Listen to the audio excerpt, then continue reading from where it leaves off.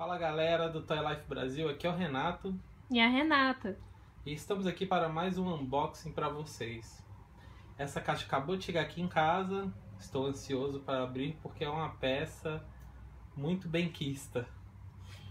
É, a gente comprou na Fantoy, como vocês podem ver, e vamos fazer o unboxing do Deadpool Iron Studios 1x10.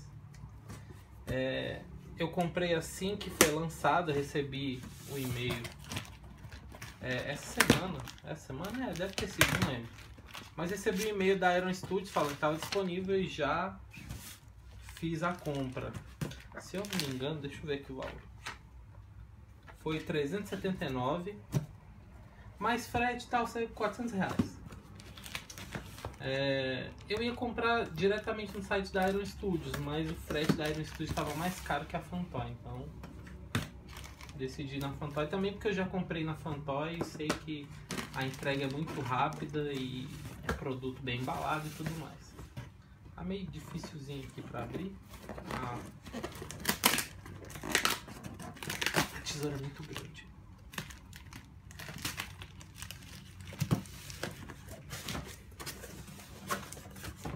Ó, gosto da Fantoy olha só a diferença. Parabéns, você acaba de receber um produto com um selo de qualidade Fantoy.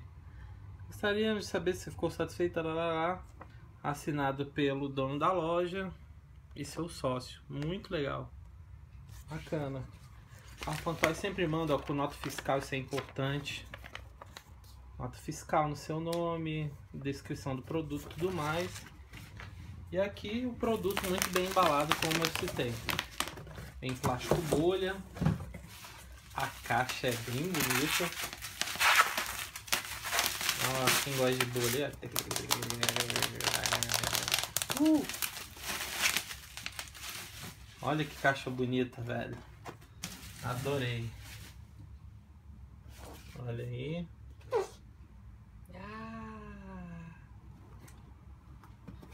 Iron Studios. Fazia tempo que eu não comprava o Iron Studios, muito tempo.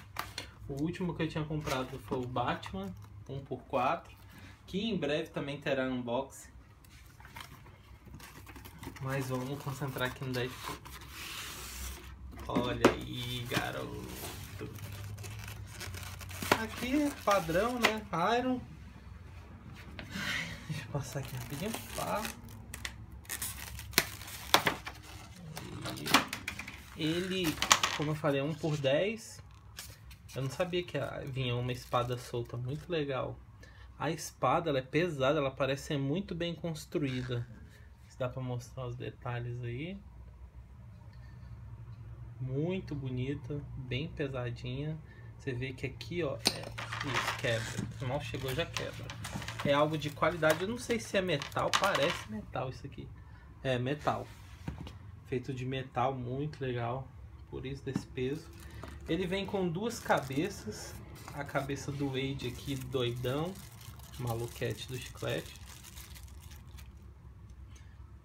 Eu particularmente não gosto, não, não curto, prefiro com a máscara, mas é muito legal, tem gente que se amarra e aí tá a cabeça dele, todo expurgado. Hum.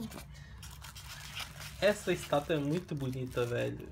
Vem com a arma e... Velho, Deadpool é foda. Armas e facas e espadas, katanas muito feras e tudo mais.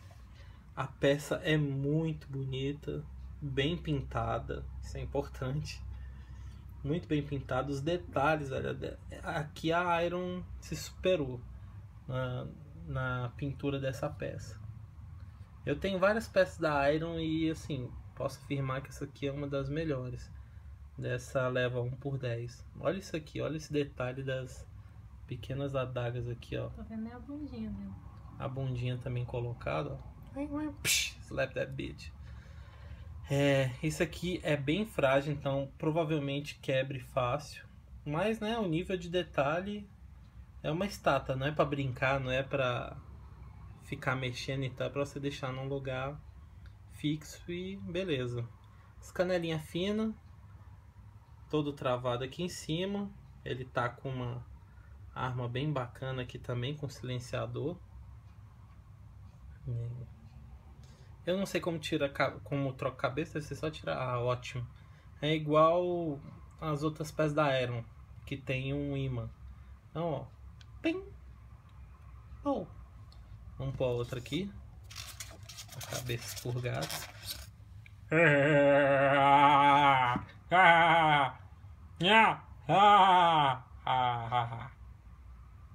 Essa mesmo bom mesmo.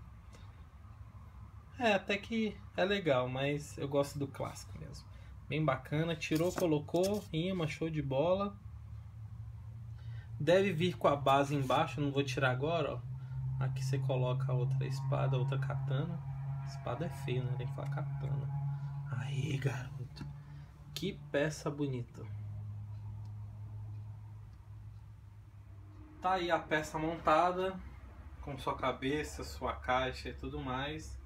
Eu vou pedir para Renata dar, mostrar com mais detalhes, bem de perto. Achei fantástico as pinturas. Tá muito bom mesmo essa peça. Outro nível da, da Iron Studios, gostei.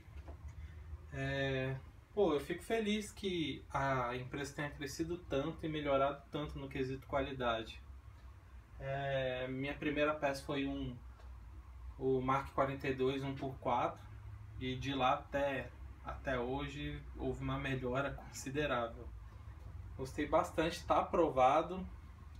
Valeu Iron, valeu, valeu Fantoys.